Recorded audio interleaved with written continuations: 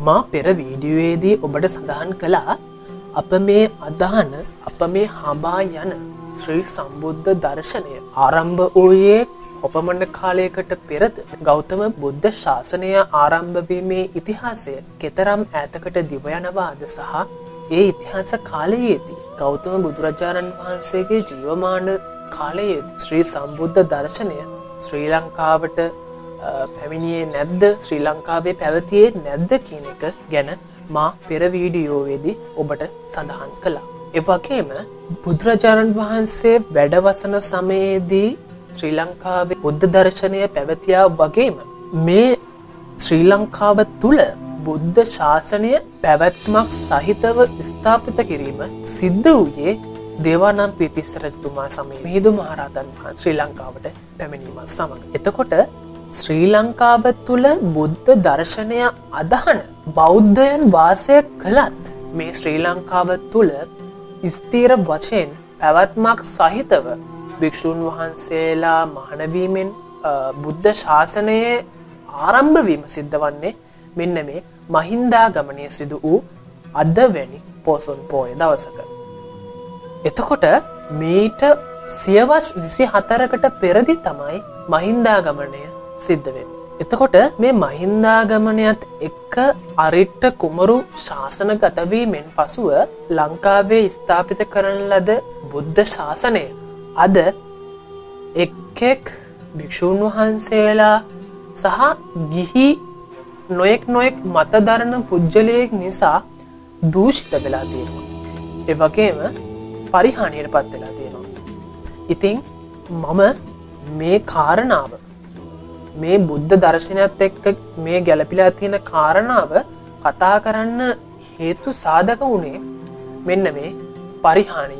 ඉතිං වර්තමානයේ ලොකු කතාභාකට ලක්වෙලා තියෙනවා සංගායනා ගැන. මොකදද මේ සංගායනාව? මොකදද මේ සංගායනාවේ ඉතිහාසය? සංගායනාවක් කියන්නේ මොකක්ද සංගායනාව ආරම්භ වනේ කවදද? බුද්ධ කාලීනව සංගායනාවල් පැවතුනාද අදී වශයෙන් සංගායනාංවල ලැබෙන ප්‍රතිඵලය මොකක්ද අදී වශයෙන් කරුණු කීපයක් ඔස්සේ ඔබත් එක්ක මේ සංගායනා කියන මාතෘකාව ඔස්සේ කතා කරන්න මම දැන් සූදානම් වෙන. මේ සංගායනාවල ඉතිහාසය බුද්ධ කාලය දක්වාම දිවයනවා. බුදුරජාණන් වහන්සේ විසින්ම තමා පළමු සංගායනාව පිළිබඳව නිර්වචනය හඳුන්වාදීම කරලා තියෙන්නේ. බුදුරජාණන් වහන්සේ ජීවමාන සමයේදී නිගන්ටනාත පුත්ත එමනැත්තන් නිගන්ට ආගමේ නිර්මාතෘවරයන් වහන්සේගේ අභාවය නිසා නිගන්ටාගම අදහන නිගන්ටයන් අතර වර්තමානය අපේ බුද්ධ ශාසනයේ පවතින්නා වූ ආකාරයේ මත බේද එය ආගම අදහන එක්ෙක් පුද්ගලයන් අතර මත ගැටුම් ඇති වෙලා තියෙනවා. මේ නිගන්ට ආගමේ නිගන්ටයන් අතර ඇතිවෙලා තිබ්බ මේ මත ගැටුම දැනගත්ත පාවානුවර වාසය කරපු චුන්ද තෙරුණුවෝ අනද තෙරුන් වැඩවාසය කරපු සාම්භකාමයට ගොස් මේ බව අනද තෙරුන්ට දන්වාල තියෙනවා. ඊට පස්සේ අනද තෙරුණුයි චුන්ද තෙරුණුයි දෙදනාම එකතු වෙලා බුදුරජාණන් වහන්සේ හමුවට ගිහිල්ලා බුදුරජාණන් වහන්සේට මේ බව දැන්නුවාට පස්සෙ තමයි මුලින්ම මේ සංගායනා කිය සංකල්පය බුදුරජාණන් වහන්සේ විසින් දේශනා කරලා දෙන්නේ. මේ වෙලාවිදී බුදුරජාණන් වහන්සේ මෙහෙම වදාරලා තියෙනවා. එබැවින් චුන්ද මවිසින් මනාව අවබෝධ කොටගෙන යම් ධර්මයක් දේශනා කරන ලද්දේද. එම ධර්මය සියල්ලෝම එක්රැස්ව අර්ථයෙන් අර්ථය ව්‍යංජනයෙන් ව්‍යංජනය සංගායනා කළ යුතුය. විවාද නොකළ යුතුය. එය මේ බ්‍රහ්මචර්යාව බොහෝ ජනයාගේ හිතසුව පිණිස ලෝකයාට අනුකම්පා පිණිස දෙව්මිනිසුන්ගේ යහපත පිණිස වැඩ පිණිස සුව පිණිස බොහෝ කල් පැවැත්ම උදෙසා හේතුවන්නේය. ඉතින් මේ ආකාරයට තමයි මුලින්ම මේ නිගන්ටයන් අතර ඇති වූ මතබේද තත්ත්වය සමනය කිරීම සඳහා බුදුරජාණන් වහන්සේ සංගායනා කිරීම ගැන සඳහන් කරලා තියෙන්නේ. තිං අපි ඔබ කවුරුත් දන්නවා බෞද්ධයන් වශයෙන් දෙව්දත් සංග බේදය ඇති කලා ඒ වගේම භික්‍ෂූන් අතර එක් එක් අවස්ථාවන් වලදී විනය පිළිබඳ ගැටලු මැතුුණා ඒවගේම බුදුරජාණන් වහන්සේ වැඩ නොහිදින අවස්ථාවලදී භික්‍ෂූන් අතර විනය කරුණු සහ ධර්ම කරුණු අතර සංවාද ඇති වුණා. ති මේ ආකාරයට නොයෙක් නොයෙක් අවස්ථාවලදී බුද්ධ කාලීනවද මේ ගැටුල්ලු සංවාද මත ගැටුම් ඇතිවීම සිද්ධ වුණා. ඉතින් ඒක හින්දා බුද්ධ කාලයේදීම මේ සංගායනයක් පැවැත්වීමේ අවශ්‍යතාවයද පැවති බවට අපට මනාව පැහැදිලි වෙනවා. නමුත් බුද්ධ කාලයේදී සංගායනාවක් පැබතුනා යැයි තොරතුරු සඳහන් වෙන්නේ නෑ ධර්ම ග්‍රන්ථවල නමුත් බුදුරජාණන් වහන්සේ පිරිනිවන් පෑමෙන් පස්ුව එක් එක් රජවරුන්ගේ දායකත්වය ඇතිව මහතෙරුන් වහන්සේලාගේ මෙහෙවීමෙන් තේරවාද බුද්ධ ධර්මය මූලික කරගනිමින් සංගායන කිහිපයක් පැවැත්වුණ. එවගේම බුද්ධ දර්ශනයෙන් කැඩිහි වෙංවී ගිය එක් එක් නිකායන් වල භික්‍ෂූන් වහන්සේලාද නොයෙක් නොෙක් අවස්ථාවල සංගායනා පැවැත් වූ බවට ධර්මගන්ත්‍රවල සාක්ෂි සඳහන් වෙනවා. ඒ කෙසේ වෙතත් අපි අදහන ශ්‍රී සම්බුදුරජාණන් වහන්සේ විසින් දේශනා කරන ලැබූ තේරවාදී බුද්ධ දර්ශනයේ අවස්ථා කිහිපයකදීම සංගායනා පැවැත්ලා තියෙනවා. පළමු සංගායනාව විදිහට ධර්මගන්ත්‍රවල සඳහන් වෙන්නේ බුදුරජාණන් වහන්සේ පිරිනිවන් පෑමෙන් වසර දහයකට පසුව පැවැත් වූ මහාකාශ්‍යප මහතහතන් වහන්සේගේ මූලිකත්වය පැවැත් වූ සංගායනාව.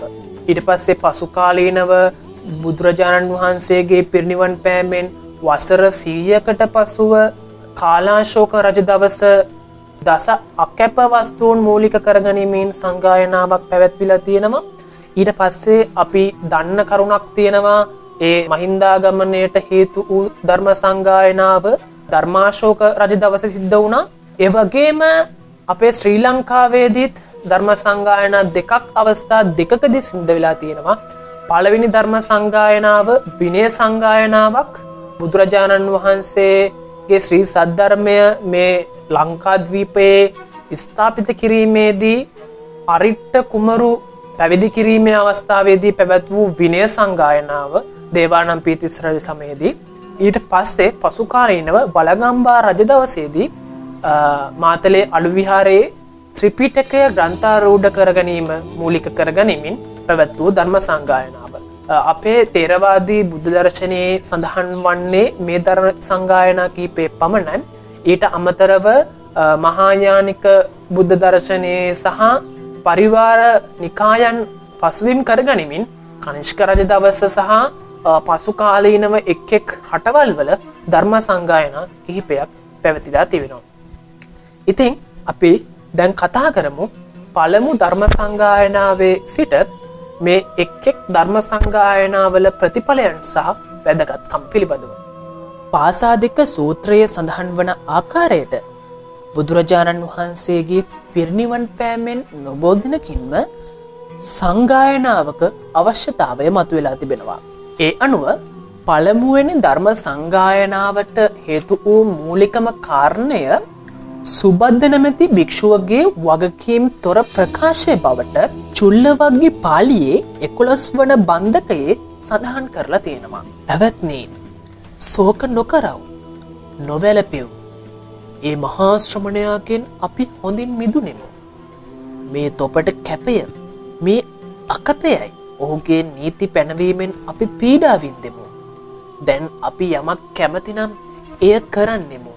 යමක් නොකැමතිනම් එය නොකරන්නෙමු. මේ මහලු කල පැවිදි වූ පෘතක්ජන භික්‍ෂූන් වහන්සේ නමක් වන සුබද්ධ නැමති තෙරුන්ගේ ප්‍රකාශයයි. මේ ප්‍රකාශයෙන් අපට මනාව තේරුම් ගන්න පුළුවන් පළවෙනි ධර්ම සංගායනාවට මූලික හේතුව වෙච්ච මේ භික්‍ෂුවගේ ප්‍රකාශයම වර්තමානයේ සංගායනාවක් පැවැත්වීමේ අවශ්‍යතාවයටද හේතුවන බවට. මොකද වර්තමානයේ ජීවත්වන වාසය කරන සමහර භික්‍ෂූන් වහන්සේලා තමන්ගේ පුද්ගලික මතකරුණු ඉදිරිපත් කරමින් මේ ආකාරයේම සංග බේදයක් වගේම බුද්ධ දර්ශනය විකෘති කිරීමේ තත්ත්වයක් ඇතිවේ තිබෙන නිසාවේ. ඉතිං මීට අමතරව බුදුරජාණන් වහන්සේගේ ජීවමාන සමයේදී බුදුරජාණන් වහන්සේ විසින්ම මහා කාශප හිමියන් අමතා පිටකයන් එක්රැස් කරන ලෙසට වදාරා තිබෙනවා. ඉතිං බුදුරජාණන් වහන්සේ එක් එක් අවස්ථාවලදී එක් එක් කරුණු උදෙසා දේශනා කරන ලද ශ්‍රී සද්ධර්මය එක්රැස් කොට සුරක්ෂිත කිරීමද මේ පළවෙනි ධර්ම සංගායනාවේ අරමුණක් වෙලා තියෙනවා. ඒ වගේම බුදුරජාණන් වහන්සේ ශ්‍රී සද්ධර්මය අවබෝධ කරගෙන ධර්මය දේශනා කරන ලද මුල් අවදියේදී මේ ශාසනයට ඇතුළත් වූයේ සසුන් ගත වූයේ සැදහැ සිතින් ගිහි ජීවිතය ගැන කලකිරුණු පුද්ගලි. ඉතින් පසුකාලීනව ඔබ දන්නවා සමස්ත භාරතය පුරාවටමත් එවගේම ශ්‍රී ලංකාවටත් සහ භාරතය ආශ්‍රිත රාජ්‍යන් වලටත් බුද්ධ කාලීනවම ධර්මය ප්‍රචාරය වුණා. එතකොට ඒ ආකාරයෙන් ධර්මය මේ බුද්ධ දහම අදහන පිරිස වැඩි වුණා බුද්ධ දර්ශනය විශාල පපසරීයක ව්‍යාප්ත වුණා ඒවගේම බුද්ධ දර්ශනය අදහන අයට බුදු දහමට ලැබෙන ලාභ ප්‍රසංසා ප්‍රමාණය වැඩි වුණා එවගේම දායකයින් ප්‍රමාණය වැඩිවීම නිසා මේ ශාසනයට ලැබෙන දායකත්වය දානමානවල ආදී වශයෙන් ලැබෙන දායකත්වයද ඉහළ ගියා. ඉතිං මේක බලාගෙන ඊමට නොහැකි වූ අන්‍යාගමිකයින් මේ සැප සම්පත් බලාපොරොත්තුවෙන් මේ ලාභ ප්‍රසංසා බලාපොරොත්තුවෙන් බුද්ධ ශාසනයට ඇතුළත් වුණ සසුන් ගත වුණා. ඉතිං මේ සැප සම්පත් බලාපොරොත්තුව උදෙසා සසුන්ගත වූ අන්‍යාගමිකයින් බුද්ධ දර්ශනය පිළිබඳ අවබෝධයකින් තොරව තමයි කටයුතු කළේ. ඉතිං මේ දුක්ෂීල ලාභ ප්‍රසංසා මත යැපෙන මේ භික්‍ෂූන් වහන්සේලා මේ දුශ්ශීල බිස්සූන් වහන්සේලා ශාසනයෙන් නිරපීමද මේ පළමුවැනි ධර්ම සංගායනාවේ එක් අරමුණක් වෙලා තියෙනවා. ඒවගේම බුදුරජාණන් වහන්සේගේ පරිනිර්වාණයෙන් පසුව භික්‍ෂූන් වහන්සේලාගේ විනය කටයුතුවල පැවැත්ම සහ බුද්ධ දර්ශනයේ විනය පිළිබඳව යම් අතබේධාත්මක තත්ත්වයන් නැති වුණා ඉතින් මේ ධර්ම විනය රැකගැනීම උදෙසාත් මේ ධර්ම සංගායනාව පැවැත් වූ බවට එක් එක් ග්‍රන්ථවල ධර්ම ග්‍රන්ථවල සඳහන් වෙනවා. ඉතින් මේ ආකාරයට මේ මේ කරුණුකාරණා හේතුකොටගෙන පැවැත්වීමට තීරණය කරන ලද පළවෙනි ධර්ම සංගායනාව එවකට මගද රාජධානය පාලනය කරන ලද අජාසත් රජතුමාගේ දායකත්වෙන් එවගේම මහා කාශ්‍යප තෙරණුවන්ගේ මූලිකත්වයෙන් රහතන් වහන්සේලා පන්සේයකගේ සහභාගීත්වයෙන් රජගහනුවර පිහිටි සප්ත පරණී ගුහාදවාරයේදී තමයි පවත්වල තිබෙන්නේ. නිධාන පුද්ගල වස්තු ප්‍රඥ්ඥප්ති අනු ප්‍රඥ්ඥප්ති ආපත්ති ආනාපත්ති ආදී සියුම් විස්තර සහිතව භික්‍ෂු භික්‍ෂුණී ප්‍රාතිමෝක්ෂ ශික්ෂාපද සියල්ල පිළිබඳ විනයදර භික්‍ෂූන් වහන්සේ නමක් වන උපාලි හිමියන්ගෙන් අසා අනෙකුත් රහතන් වහන්සේලා හා සාකච්ඡා කොට නිරවුල් කොට විනය සංගායනාව පවත්වනවා. අනතුරුව ධර්මදර භික්‍ෂූන් වහන්සේ නමක් වන ධර්ම බාණ්ඩාගරික ආනන්ද හාමුදුරුවන් ලබා පංච නිකායම සංගායනා කිරීමෙන් ධර්ම සංගායනාවද පවත්වනවා. මේ ධර්ම සංගායනාවේ ප්‍රතිඵලයක් වශයෙන් තමයි සූත්‍ර පිටකය සහ විනය පිටකය සැකසෙන්නේ. එක් එක් භික්‍ෂූන් වහන්සේලා සතු ධර්ම කරුණු සහ විනය කරුණු එක්ලස් කරමින් මෙම සංගායනාවේ ප්‍රතිඵලයක් ලෙස සූත්‍ර පිටකය සහ විනය පිටකය සැකසෙනවා. ඉතිං මේ පළවෙනි ධර්ම සංගායනාවෙන් අපිට තේරුම් ගන්න පුළුවන් සංගායනාව කියන්නේ කුමක්ද සංගායනාවක් පැවැත්වීමේ අර්ථය කුමක්ද කියලා. එක් එක් භික්‍ෂූන් වහන්සේලා සතු වූ ධර්ම කරුණු සාමූහයක් ඉදිරියේ සාමූහිකව සජ්ජායනා කර ධර්ම ගැටලු සහ මතබේදයන් නිරවුල් කොටගෙන. පිරිස්සුදු සද්ධර්මය නැවත සුරක්ෂිත කිරීම සංගායනාවක් යනුවෙන් අපිට පැහැදිලිව නිර්වචනය කරන්න පුළුවන්. ඉතින් මේ වර්තමානය ඇතිවෙලා තියෙන සංග බේදයත් එමනැත්තං නිකාය බේදයත් සහ භික්‍ෂූන් අතර ඇතිවෙලා තියෙන බේදයටත් හොඳම විසදුම වර්තමානයේ වැඩවසන ධර්මදර හෝ විනේදර භික්‍ෂූන් වහන්සේලා එක්රැස් කිරීමෙන් නිවැරදි ධර්මසාකරුණු කුමද්ද කියලා සාකච්ඡා කර සංගායනාවක් පැවැත්වීම බව අපට අවබෝධ කරගන්න පුළුවන්.